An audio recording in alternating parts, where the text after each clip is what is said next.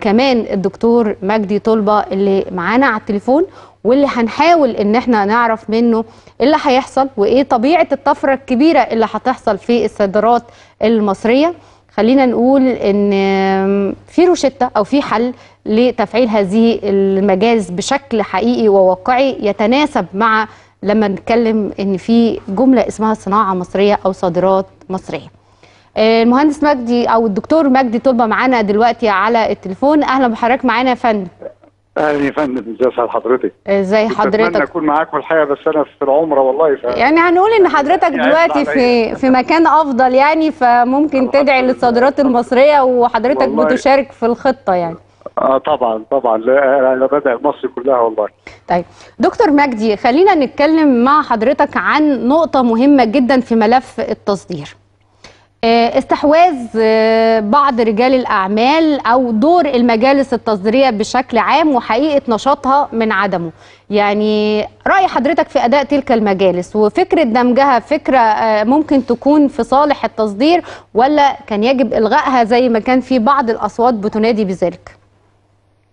طيب خليني بس أوضح لك ال- الصورة شوية. آه أنت اتكلمتي على حاجتين على مجالس الأعمال واتكلمتي على المجالس التصديريه فسريعا مجالس الأعمال ال- طبعا في آه، ال- المشكلة الحقيقة في ال- ال- ال- اللي أنشأ هذه المجالس وما حطش لها دور واضح لأن في تداخل بين عمل مجالس الأعمال والمجالس التصديرية وزي ما حضرتك قلتي فعلا يعني في مجالس أعمال يعني أنا واحد من الناس عرفت إن أنا عضو في مجلس من الجرايد أو مجلسين تمام فيعني ال- القصة الحقيقة عايزة آه،. نوع من آه، يعني الترتيب شوية.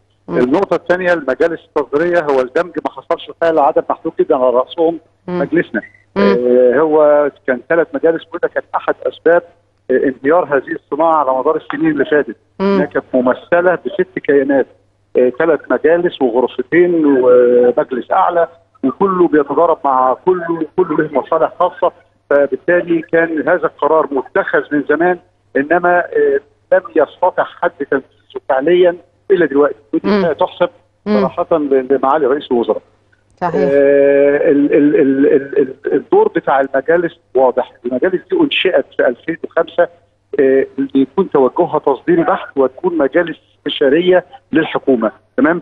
آه، يعني المجالس نجحت. إحنا كان عندنا نمو في الصادرات بيزيد على 30% متوسطة لكل القطاعات من 2005 آه، إلى آه، 2010 2011 مم. آه، بدأت المجالس الحقيقة تخش في بعض الأعمال التنفيذية بدأت تخش في بعض الأخطاء اللي حضرتك ذكرتيها آه، يعني طيب دكتور مجدي إحنا معتادين من حضرتك دايما على الصراحة وإن حضرتك دايما بتقيم الموضوعات آه، بحرفية وبجرأة شديدة جدا.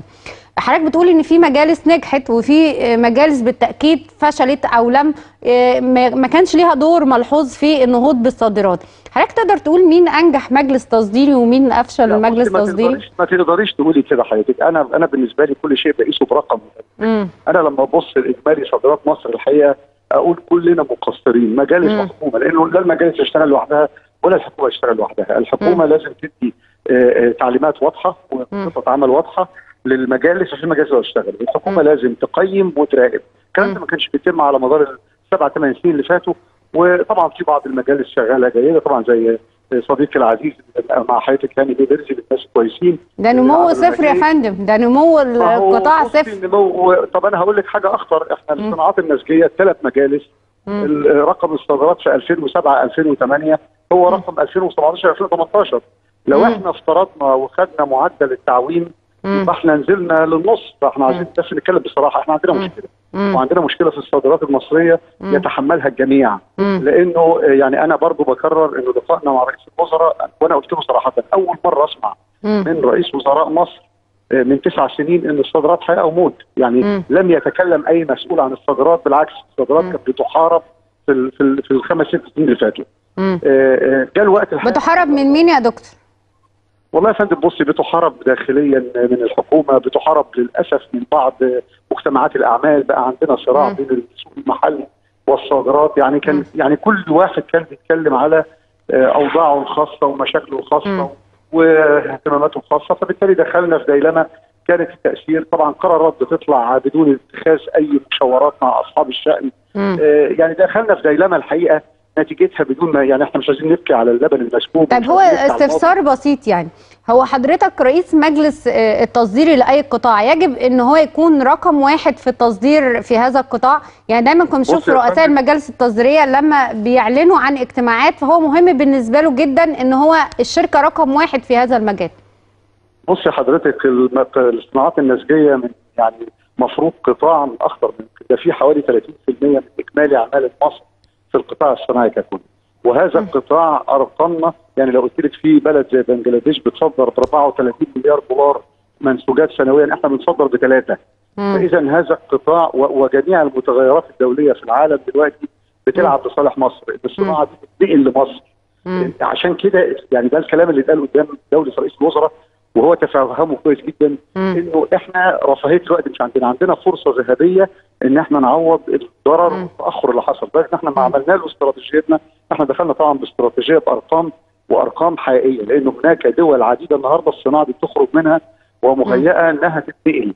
يا تيجي مصر يا هتروح دول تانية. تمام؟ في. أفريقيا طالعة. في شمال أفريقيا طالع كويس. آه، في آه، جنوب شرق آسيا في دول جديدة طالعة جامد. فالصراع قوي جدا. وما. يحتملش النهارده مم. فالكل لازم يشتغل والكل لازم يتحط تحت مسؤوليته. ف- طيب آه، يعني متى ممكن يكون عندنا آه، خطة واضحة آه، نقول معالمها للنهوض بالصادرات المصرية وحضرتك بتوقع بتتوقع في ظل التفعيل واهتمام رئيس الوزراء وجود حضرتك على رأس أربع مجالس تصديرية وشخص مهم جدا زي ثلاثة ماشي يا فندم يعني هم والمهندس هاني بيرزي موجود معانا النهارده وهو من الشخصيات. آه، الصناعية المهمة. وبيمسي. على حضرتك كمان مهندس هاني ربنا يخليه ده راجل عظيم وأنا بتشرف. ادعي لنا ادعي لنا يا مجدي بيه والله الله يخليك. ده إحنا محتاجين دعوتك يعني. للصناعات الغذائية بس ولا للتصدير بشكل عام؟ لمصر طيب كلها. متى بقى يا دكتور مجدي نشوف إن يكون عندنا خطة واضحة المعالم للنهوض بالصادرات المصرية؟ بص يا حضرتك إحنا بقالنا سنة شغالين حال الحظ الكويس إن إحنا بدأنا هذا الاصلاح من حوالي سنة. إن إحنا كان عندنا مجلس أعلى للصناعات النسجيه غير مفعل. هو داخل فيه بقى كانت ثلاث مجالس على الغرف على على فاعل من حوالي سنة وعمل استراتيجية اشتغلنا فيها سبعة ثمان أشهر حقيقية. ومشيت على التوازي مع استراتيجية الاتحاد الأوروبي بيشتغلها مع وزارة الصناعة.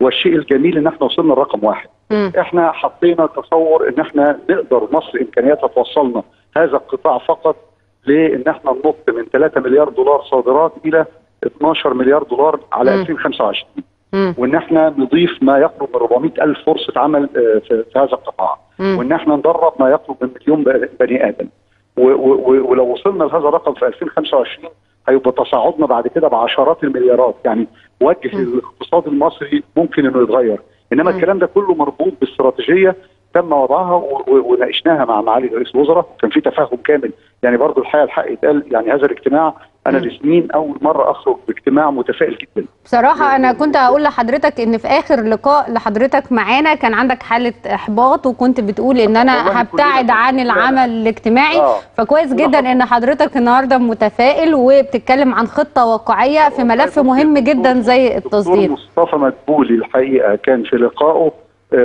يعني اولا فنيا على درجة عالية جدا دخل في تفاصيل التفاصيل. إحنا قعدنا ما يقرب من ساعتين مجلسنا لوحده. آه، شرح كامل آه، أسئلة كاملة تفاصيل كاملة صراحة كاملة. حتى لما بنتكلم على موضوع المساندة كان في منتهى الصراحة لأن كان حصل ضغط وحصل للأسف آه، ناس كتير اتكلمت في الإعلام وكلام. مظبوط. دولة مش هتاكل على المصدرين مليم. دولة الوزراء قال إحنا بس الرقم تراكماته ضخمه لازم مم. نشوف آلية إزاي ندفعه. إنما هندفعه باسرع ما يمكن واتفقنا على نقاط لهذه الآلية اتكلمنا على ال- ال- المساندة الجاية لازم ترتبط بنمو وقيمة مضافة وتعميق حقيقي للصناعة ما مم. عادش خلاص الدولة مش هتدي آه، آه، دعم أو تدي مساندة لمجرد المساندة إنها. تروح في جيوبنا. الكلام ده خلاص انتهى. ولا لأشخاص بعينهم يعني هيكون في آه، ارتباط وثيق بحجم الصناعة ونموها وإزاي إنها تكون بتمثل مصر.